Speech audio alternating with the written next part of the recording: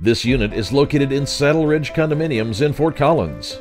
It offers vaulted ceilings, a gas fireplace, fresh carpet, and two patios.